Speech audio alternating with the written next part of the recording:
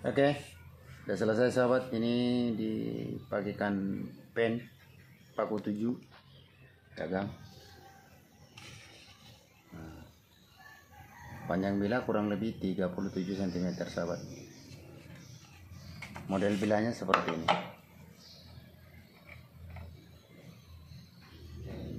Parangkas Bugis atau golok Bugis.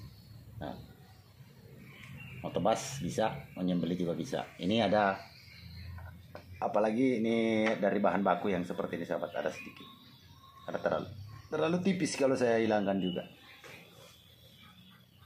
Tanda seperti tanda itu sahabat. Oke. Alhamdulillah sudah selesai.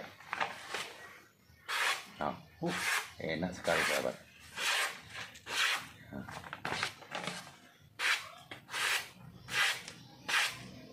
eh nah tuh.